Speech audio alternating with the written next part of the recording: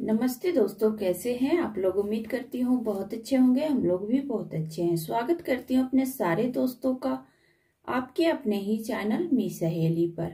आज मैं आपके लिए लेके आई हूँ पापड़ की बहुत ही मज़ेदार रेसिपी, जिसे बना के दिखाऊँगी पालक से।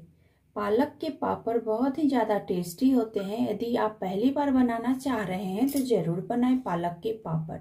एक तो ये हेल्दी भी है और जो पालक नहीं खाते हैं जिनके बच्चे पालक नहीं खाते हैं उनके बच्चे को वो, वो अपने बच्चे को पालक खिला सकते हैं इस बहाने से। तो यहाँ पर देखिए थोड़ा सा पालक का पत्ती ले ली हूँ और पालक के पत्ती को बहुत अच्छे से साफ़ कर लेना है जो इसमें घास वगैरह है उसे आप अच्छे से निकाल ले और जो मोटा वाला डंठल है उसे भी आप अच्छे से हटा दें। मोटा वाला डंठल इसमें नहीं छोड़ना है और पालक के पत्ते फ्रेश लेने हैं, एकदम हरे हरे से। तो बहुत अच्छा इसका कलर आएगा पापड़ का। फ्रेंड्स, वीडियो पूरा देखिएगा, तभी जाके आप पापड़ बनाइएगा। आधा अधूरा वीडियो देख के आप पापड़ ना बनाए। हो सकता है कि आपका पापड़ बिगड़ जाए या अच्छा ना बने। तो यहाँ पर बहुत सारे पत्ती को धो के रखा है मैंने। थोड़ा सा पत्ती यहाँ पर आपको लेके दिखा रही हूँ, क्योंकि थोड़ा सा पापड़ ही आपको बना के दिखाऊँगी। यहाँ पर इतना सारा पापड़ इतना सारा हमारा ये है पा, पालक है और ये छोटा पत्ता वाला पालक है। आप देख पा रहे हैं बहुत ज़्यादा पत्ता जो है कड़ा नहीं है थोड़ा सा सॉफ्ट वाला ही है। इसका पापड़ बहुत ही ज़्यादा टेस्टी बनेगा। वीडियो अच्छा लगेगा तो वीडियो को लाइक और ज़्यादा से ज़्यादा शेयर कीजिएगा। फ्रेंड्स चैनल पर पहली बार आए हैं अभी तक आप हमारे चैनल को सब्सक्राइब नहीं किए हैं तो सब्सक्राइब करके और छोटा सा जो घंटी है उसे एक बार प्रेस कर दीजिएगा, तभी हमारे लेटेस्ट वीडियो का अपडेट आपको मिलते रहेगा। देखिए यहाँ पर पालक हमारा साफ़ हो चुका है और इससे ही आपको ढेर सारा पापड़ बना के दिखाती हूँ। सारे पालक को हमें बारीक बारीक से कट कर लेना है। बहुत ज़्यादा बारीक नहीं काटना है, लेकिन काट लेना है इस तरीके से। और इस तरीके से आप पापड़ बना के ढेर सारा पालक का स्टोर कर सकते हैं। साल दो साल बिल्कुल भी ये खराब नहीं होता है। पापड़ बनाने का तरीका सबका अलग अलग होता है। एक तरीके से ऐसे आज पापड़ बना के आपको दिखा रही हूँ और अगले बार दूसरे तरीके से पालक से पापड़ बना के आपको दिखाऊँगी। दोनों ही तरीके से आप पापड़ बना सकते हैं और दोनों ही तरीका काफ़ी आसान है। किसी में भी आपको ज़्यादा झंझट और परेशानी नहीं होगा। पालक को इस तरीके से बारीक कट कर लीजिए। पालक हमारा कट चुका है। अब सारे पालक को उठा लेना है प्लेट में। देख पा रहे हैं। और इसके साथ ही हमें डालना है हरी मिर्ची। आप यदि चाहें तो इसके अंदर धनिया पत्ती भी डाल सकते हैं। यदि आपको धनिया फ्लेवर में भी बनाना है पापड़ तो आप इसमें धनिया पत्ती डाल दें। इससे बहुत अच्छा पापड़ के अंदर कलर भी आएगा और स्वाद भी आएगा। लेकिन सभी कोई को धनिया पत्ती का फ्लेवर पसंद नहीं होता है। इसके लिए इसमें धनिया पत्ती नहीं डाल रही हूँ। आपको डालना है तो डाल सकते हैं। मिर्ची और ज़्यादा या कम आप कर सकते हैं। ज़्यादा मिर्ची डालने से ये और भी ज़्यादा चटपटा बनेगा। अब यहाँ पर लेना हमें मिक्सर जार और इसमें डाल देना है सारे पालक के पत्ते को। और पालक के पत्ते को डालने के बाद इसमें डालना है बाकी का थोड़ा थोड़ा करके मसाला। तो चलिए, क्या मसाला में डालना है? सबसे पहले इसमें डालना है हमें आधा छोटा चम्मच के जितना जीरा। बहुत अच्छा स्वाद आएगा पापड़ के अंदर, जीरा का। और हरी मिर्ची इसके लिए डाली हूँ। फ्रेंड्स, आप चिली फ्लेक्स भी डाल सकते हैं। हरा मिर्ची डालने से पापड़ के अंदर मिर्ची डला है, उसका पता नहीं चलेगा और इसमें बहुत अच्छा स्वाद भी आ जाएगा मिर्ची का। साथ में डालना हमें छोटा चम्मच से एक चम्मच और थोड़ा सा नमक। पालक में पहले से ही हल्का नमक होता है। जब आप पालक बनाए होंगे तो हल्का सा नमक नमक सा लगता है तो नमक पालक के पापड़ में बहुत ही कम डालिएगा। अब अच्छे से इसे पीस लेना है, यानी बारीक कर लेना है। और अभी के समय इसमें जरा सा भी पानी नहीं डाल रही हूँ। पीस के देखती हूँ, इसमें पानी का ज़रूरत होगा तो थोड़ा सा पानी डाला जाएगा। तो यहाँ पर देखिए, पालक को अच्छे से बारीक करके और पीस ली हूँ, लेकिन हल्का सा इसमें पानी लगेगा, तब जाके ये पालक और भी अच्छे से पीस जाएगा। एक बार और अच्छे से घुमा लेती हूँ मिक्सर जार को। अब देखिए, पालक बहुत अच्छे से पिस चुका है। इसमें मोटा, यदि पालक आपको लगे कि इसमें मोटा सा पालक बचा है पत्ती तो आप थोड़ा सा इसे छन्नी में डाल के और छान लीजिए। छन्नी में डालने से जो पालक नहीं पिसा होगा अच्छे से, वो निकल जाएगा। और इसमें जो रेसा है डंटी, डंठल की वजह से, जैसे कि पालक को कितना भी आप डंठल निकाले, पालक से फिर भी उसमें रह ही जाता है तो वो सब रेसा भी अच्छे से छन के निकल जाएगा और आपका पापड़ एकदम चिकना चिकना सा बनेगा। तो इस तरीके से हमें छान लेना है। फ्रेंड्स, आपको मैदे के पापड़ की रेसिपी चाहिए तो हमारे चैनल पर है, आप चाहें तो देख सकते हैं और यदि आपको चाहिए रेसिपी वीडियो का लिंक चाहिए होगा तो आप कमेंट कीजिएगा, मैं वीडियो का लिंक आपको दे दूँगी। बहुत ही अच्छा लगता है खाने में मैदे का पापड़। बचपन में आप लोग खाए होंगे बाज़ार में, वो जो नली फ्राइम्स होता है ना, जिसे फोफी बोला जाता है हम लोगों के यहाँ, बोलचाल के भाषा में उसे फोफी पापड़ बोलते हैं, जो गोल गोल होता है। उसी वैसा ही टेस्ट होता है मैदे का पापड़ का, बहुत अच्छा खाने में लगता है। देखिए यहाँ पर कितना इसमें निकला है? अच्छे से इस तरीके से दबा दे, दबाने से जो इसका जूस है, पालक का निकल जाएगा। और देखिए फ्रेंड्स ये रेसा है। देखिए पाल, पापड़ के अंदर ये अच्छा नहीं लगता। इसे हटा देना है। तो देखिए फ्रेंड्स यहाँ पर पालक के जूस को किसी भी कप या कटोरी से आप नाप के ले लीजिएगा। तो यहाँ पर देखिए, एक कप ये पालक का जूस हुआ है। देख पा रहे हैं? मात्र एक ही कप हुआ है। इसे निकाल लेना है एक बर्तन में अलग से, और इससे ही हमें पापड़ बनाना है। तो इसका जो अलग से पानी इसमें लगेगा तो वो गरम करना है। तभी जाके ये पापड़ अच्छा बनेगा। तो चलिए, पानी को गरम कर लेती हूँ, और उसके बाद पापड़ बना के आपको दिखाती हूँ। बहुत ही ज़्यादा टेस्टी, मज़ेदार पापड़। पापड़ बनाने के लिए आप पैन या कढ़ाई का इस्तेमाल कर सकते हैं और इसमें ही आप पापड़ बना सकते हैं। तो इसमें देखिए, एक कप जो पालक का जूस है, उसे हमें डाल देना है। और बाकी अलग से एक कप पानी इसमें डालना है। अब वीडियो को ध्यान से देखिए, जरा सा भी वीडियो स्किप नहीं कीजिए। यदि स्किप करके देखेंगे तो खुद ब खुद आपको समझ में नहीं आएगा और आपका पापड़ अच्छा नहीं बनेगा। आप पहली बार बन, पहले से आप पापड़ बनाना जानते हैं इस टाइप का, तब तो आपको आता ही होगा। फिर भी हर पापड़ का अपना अपना अलग अलग तरीका होता है। वीडियो को पूरा देख लीजिए, बहुत ही फ़ायदे में रहेंगे। अभी पानी हमारा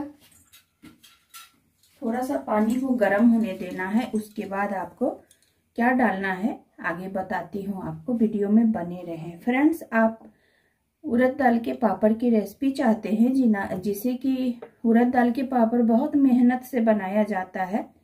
लेकिन मेरे पास जो रेसिपी है बिना मेहनत, जैसे कि आप सिर्फ़ दाल से ही पापड़ बना कर रख सकते हैं, ना ही आपको आटा गूथने की झंझट होगी, ना ही पापड़ बेलने की आपको रेसिपी चाहिए तो कमेंट कीजिएगा।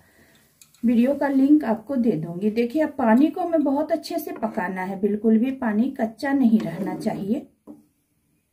पानी बहुत अच्छे से पके, जो इसमें पालिक, पालक डला हुआ है, पालक कच्चा ना रहे, क्योंकि इसे कच्चा ही पीस के और डाली हूँ। उबला हुआ पालक नहीं था। एक तेज उबाल आने तक हमें पानी को अच्छे से गर्म करना। आप चाहें इसमें कलर ऐड करना तो कर सकते हैं। उससे एकदम हरा हरा सा आपका पापड़ बन के आएगा। देखिए, पानी में उबाल आने लगा है।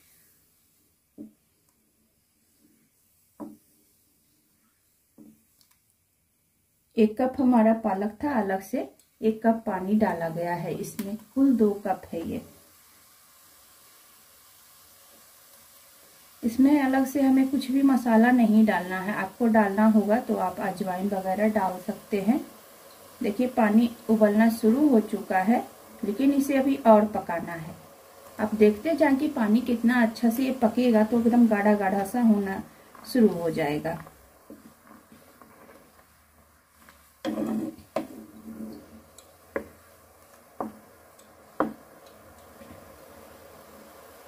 तो देखिए फ्रेंड्स अब हमारा पानी जो है बहुत अच्छे से पालक वाला पक चुका है, देख पा रहे हैं?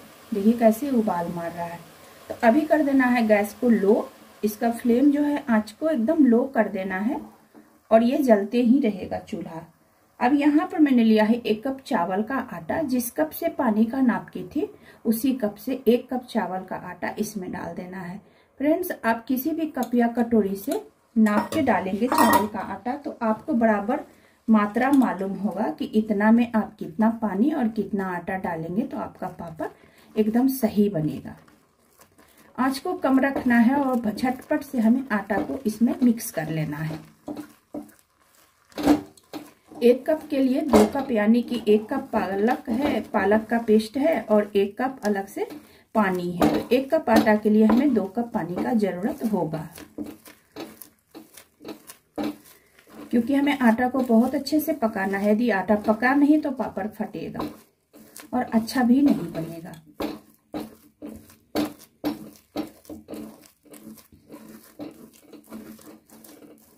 ये लकड़ी वाला देखिए चम्मच से तो इससे हमें मिलाने में बहुत सुविधा हो रहा है। आप इसे मिलाने के लिए कुछ अच्छा इसी टाइप का लीजिएगा।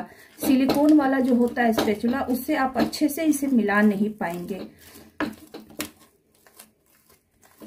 आप पकाने के लिए चाहे तो भगोनी का भी इस्तेमाल कर सकते हैं। उसमें भी बहुत अच्छे से इसे मिलाया जा सकता है। इसे खींचू पापड़ बोलते हैं, खींचिया पापड़। इसके लिए हमें इसे बहुत अच्छे से पकाना है। बिल्कुल भी ये कच्चा ना बचे। तो देखिए, यहाँ पर मिक्स हो गया है।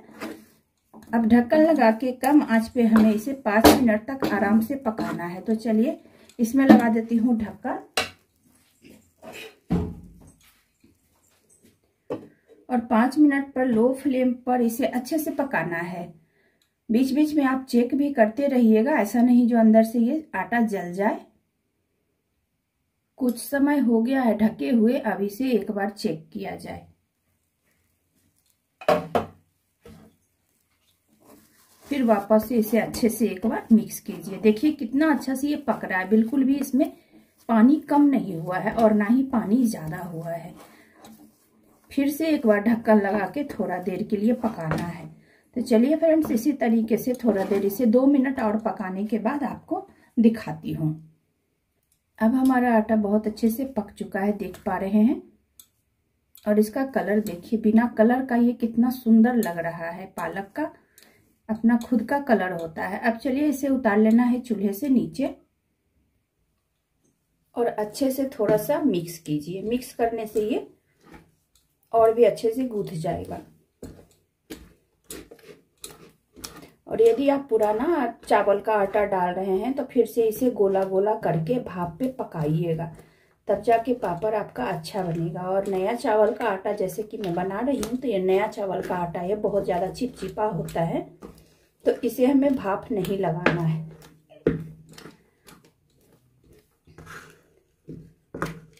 और बहुत ज़्यादा इसे हमें ठंडा भी नहीं करना है पापड़ बनाने के लिए। तो चलिए सारे को इकट्ठा कर लेती हूँ बहुत अच्छे से। इकट्ठा करने के लिए थोड़ा सा हाथ पे आपको तेल लगाना होगा। उसके बाद ये इकट्ठा होगा। चावल का आटा बहुत ज़्यादा चिपचिपा होता है।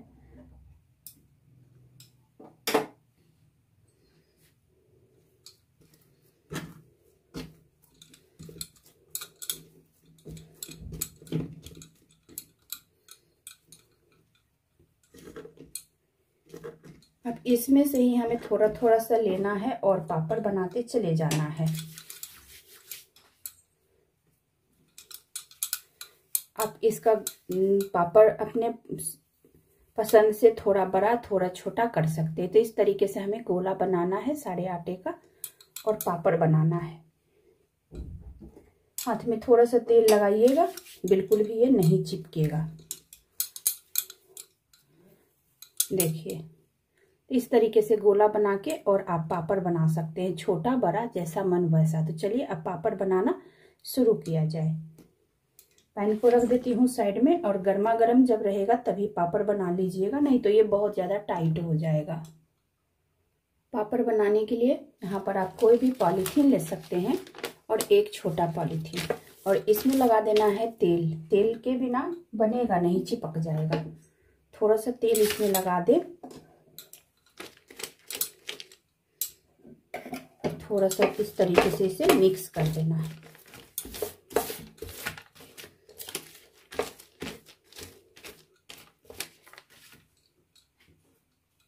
पापड़ बनाने के लिए पॉलीथीन ही ले। पॉलीथीन से पापड़ बहुत अच्छा निकल जाता है, कोई दिक्कत नहीं होता है। और पापड़ जिधर से तेल लगा है, इसके ऊपर डालें और एक कोई भारी बर्तन लेके और इसे इस तरीके से दबा दें, जिससे कि पापड़ एकदम पतला हो जाए।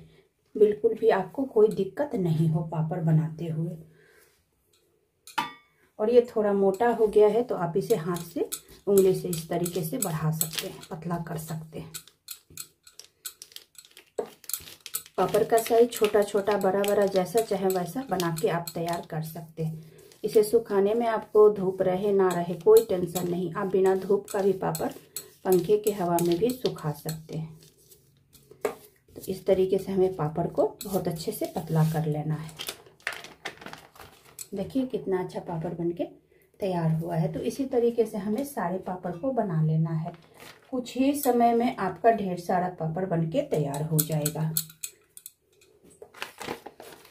जब ये लगे कि पॉलीथीन में तेल ख़त्म हो गया है, तभी आपको लगाना है। बार बार आपको तेल नहीं लगाना है।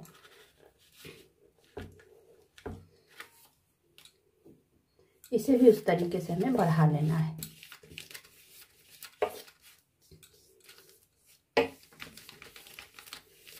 पतला पतला पापड़ बनाएँगे बड़ा बड़ा बनाएँगे तो और अच्छा लगेगा। देखिए, इसी तरीके से सारे पापड़ बनके तैयार हो जाएँगे। कुछ ही देर में, ज़्यादा देर नहीं लगेगा पापड़ बनते हुए। तो चलिए सारे पापड़ को बना कर डाल दूँगी सूखने के लिए और जब सूखेगा फिर मैं आपको दिखाऊँगी। तो देखिए फ्रेंड सारे पापड़ को बना के तैयार कर ली हूँ और एक कप पालक के जूस में कम से कम 20 से 25 पापड़ बनके तैयार हुआ है। पापड़ को अच्छे से धूप में सुखाना है। धूप नहीं है तो आप पंखे के हवा में सुखाएँ। जब पापड़ हमारा सूख जाएगा, फिर इसे स्टोर करके अच्छे से आप रख सकते हैं, जब तक चाहें तब तक। तो चलिए पापड़ को सूखने के लिए डाल दिया जाए और पापड़ सूखता है, फिर मैं आपको सूखने के बाद दिखाती हूँ पापड़ कैसा बना है। तो देखिए, पापड़ सूखने के बाद कुछ इस तरीके का हो जाएगा। देख पा रहे हैं? बहुत ही अच्छा एकदम सूखा सूखा सा पापड़ है। जितना अच्छा से आप सुखा के इसे रखेंगे, उतना अच्छा से ये रहेगा, स्टोर होकर बिल्कुल भी इसमें फंगस नहीं पड़ेगा, फफूदी नहीं पड़ेंगे। तो चलिए फ्रेंड्स, अब एक दो पापड़ को फ्राई भी करके आपको दिखाती हूँ। तेल अच्छे से गर्म कीजिएगा। कम गर्म तेल में पापड़ अच्छा से नहीं फैलता है, देखिए। चावल का आटा की वजह से बहुत अच्छा बहुत बड़ा ये पापड़ बनके आपका तैयार होगा।